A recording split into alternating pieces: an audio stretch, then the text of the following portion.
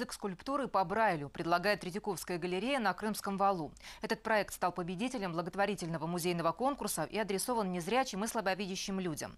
В рамках акции запланирована специальная образовательная программа по искусству скульптуры. Репортаж Ольги Лилекиной.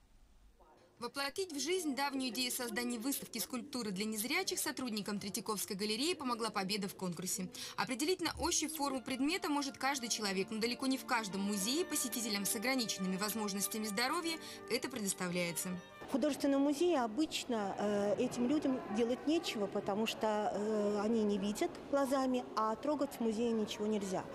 Поэтому эта программа, она предполагает, этот проект предполагает создание постоянной экспозиции скульптуры на втором этаже, скульптуры, доступные для активного восприятия. Язык скульптуры по Брайлю. Именно такое название получил проект, который стартует в конце января 2012 года. А пока организаторы будущей выставки отбирают экспонаты, которые щедро предоставляют московские скульпторы. Мы будем показывать скульптуру, мы будем ее отбирать э, вместе со скульпторами. Мы будем э, создавать удобную для незрячих людей экспозицию. И мы надеемся, что эта экспозиция будет интересной для всех остальных тоже. В рамках выставки планируется проведение мастер-классов по лепке. Заниматься со слабослышащими и слепыми людьми будет скульптор Татьяна Алексеева.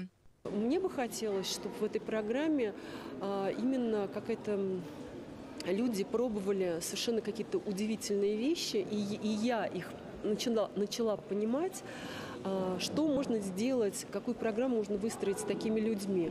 Потому что то, что мы пробовали, это удивительно, что они по-другому видят мир, особенно люди, которые никогда не видели.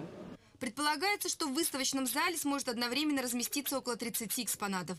В Третьяковской галерее подобные экспозиции уже неоднократно проводились. Но это должна стать особенной. Мы надеемся, что в этот раз у нас это будет на более высоком уровне, потому что есть грантовая поддержка серьезная. Авторы проекта уверены, что программа станет долгосрочной и со временем будет совершенствоваться и расширяться.